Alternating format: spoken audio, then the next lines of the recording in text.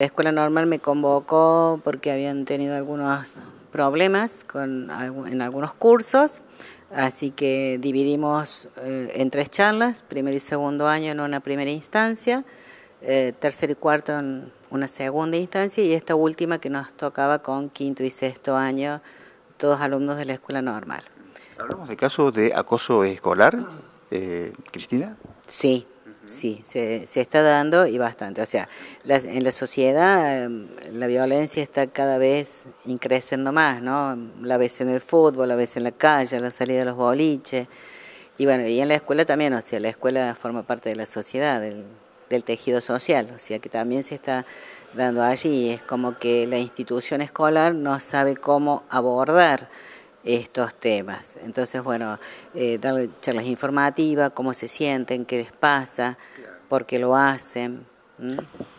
¿Cuáles son, digamos, eh, las características que se pueden, digamos, determinar en relación a lo que es un caso de acoso escolar?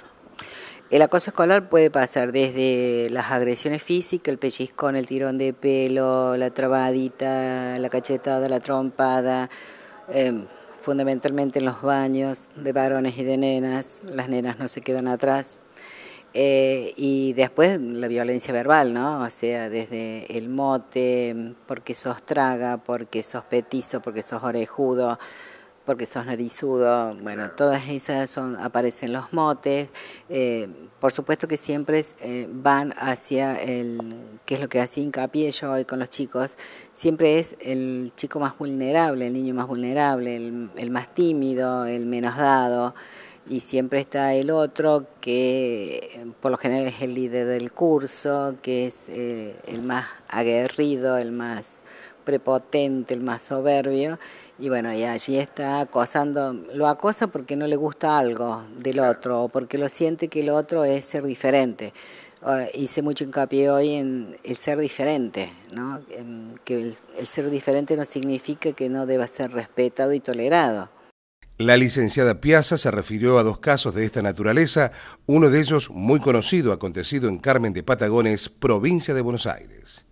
Uno fue el chico de Carmen de Patagones Junior, que ha sido, es prácticamente mundialmente conocido.